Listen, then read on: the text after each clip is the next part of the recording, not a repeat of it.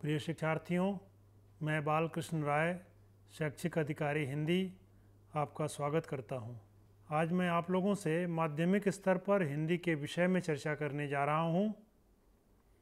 शिक्षार्थियों, भाषा हमारी पहचान है भाषा के माध्यम से ही हम अपने विचारों को दूसरों तक संप्रेषित करते हैं जहाँ तक हिंदी भाषा का प्रश्न है, यह देश में सबसे अधिक लोगों द्वारा बोली जाती है, परंतु इस भाषा में कौशल प्राप्त करना ज़रूरी है। भाषा के चार कौशलों, सुनना, बोलना, पढ़ना और लिखना, इन पर विचार किया गया है और उसमें दक्षता हासिल करने पर चर्चा हुई है। साथ ही इसे जीवन और जगत की जो विभिन्न आवश्यकताएँ हैं, उसको दृष्टि में रखकर दैनिक जीवन से जोड़ने का प्रयास किया गया है। दूसरी महत्वपूर्ण बात, इसका उद्देश्य आप में भाषिक कुशलता लाना है तथा अभिव्यक्ति क्षमता का विकास करना है। चूँकि जीवन में हर एक क्षेत्र में इसकी उपयोगिता है, संप्रेषण क्षमता से ही एक अच्छे करियर का निर्माण किया जा सकता है, इसलिए इस पर बल दिया गया है। इस पाठ्यक्रम से आप में हिंदी पढ़ने की दक्षता बढ़ेगी आप आवश्यकता अनुसार भाषा के विभिन्न आयामों को पढ़कर समझ सकेंगे। इसके साथ साथ शुद्ध और परिमार्जित व जो प्रामाणिक भाषा है, उसमें अपने विचारों को प्रकट कर सकेंगे। पाठ्यक्रम में इस बात का भी ध्यान रखा गया है कि व्याकरण को उसमें समाहित किया जाए ताकि वह आपके लिए बोझिल न हो।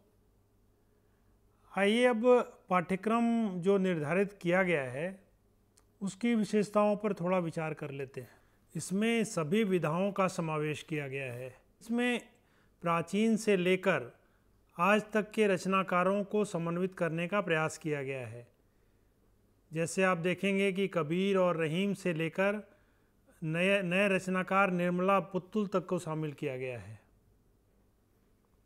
इस पाठ्यक्रम की अन्य विशेषता यह है कि कहानी का अगर व्यापक फलक देखेंगे तो इसमें अमरकांत की कहानी से लेकर प्रेमचंद की जो प्रसिद्ध कहानी शतरंज के खिलाड़ी है, उसे भी शामिल किया गया है।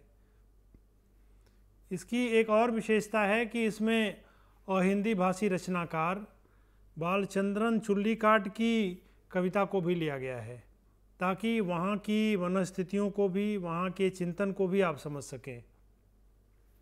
साथ ही दूसरी भाषा के अंग्रेज़ी के रचनाकार ऑस्कर वाइल्ड की कहानी सुखी राजकुमार को लिया गया है, ताकि उनकी मान्य मान्यता, उनकी, उनके विचारों, उनके उनकी सोच सबको समाहित किया जा सके।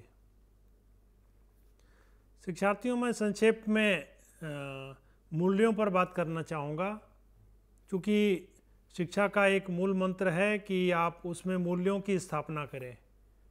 और आप इस पाठ्यक्रम को अगर आद्योपांत देखेंगे तो आपको लगेगा कि इसमें हर पाठ में किन्हीं मूल्यों का समावेश ज़रूर किया गया है।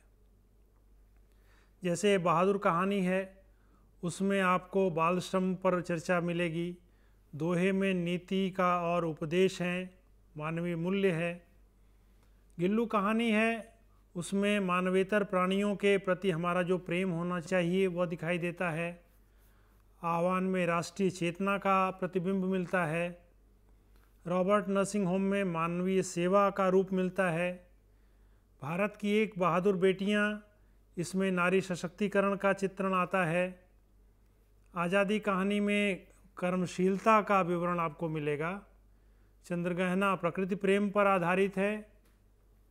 अखबार की दुनिया में आप मीडिया से जुड़ते हैं, उसके विभिन्न आयामों से परिचित होते हैं। पढ़ें कैसे में, पढ़ना एक कला है, और आप देखेंगे कि उसमें उसके मूल सिद्धांतों को बताया गया है। सार कैसे लेखन में लेखन कौशल पर विचार किया गया है। इसे जगाओ कविता हमें जागरूक बनाती है जीवन के प्रति, समय प्रबंधन के प्रति। उसके बाद सुखी राजकुमार एक ऐसी कहानी है जिसमें मानवीय हृदय का परिवर्तन दिखाया गया है। बूढ़ी पृथ्वी का दुख कविता यह प्रकृति के संरक्षण की बात करती है। अंधेर नगरी में आप देखेंगे कि राजनीतिक अधापतन के चित्रण के माध्यम से राजनीति का वास्तविक स्वरूप क्या होना चाहिए, उस पर चर्चा की गई है। अगर अपना पराया पर हम बात करते हैं तो उसमें मानवीय स्वास्थ्य की सुरक्षा कैसे की जाए, स्वस्थ कैसे रहें, इस पर विचार है। और बीती विभावरी जागरी कविता प्रकृति प्रेम पर आधारित है। अगर हम नाखून क्यों बढ़ते हैं को देखते हैं तो उसमें मनुष्यता की बात की गई है। और शतरंज के खिलाड़ी राजनीतिक व्यंग्य है और शासन व्यवस्था कैसी होनी चाहिए, इसका विवरण है। उनको प्रणाम में उन लोगों के श्रम को महत्व दिया गया है, त्याग को महत्व दिया गया है, जो जीवन में भले ही न सफल हुए हों, लेकिन उनके प्रयास बहुत ही सराहनीय रहे। और पत्र लेखन और निबंध लेखन आपके जीवन से जुड़ा हुआ है।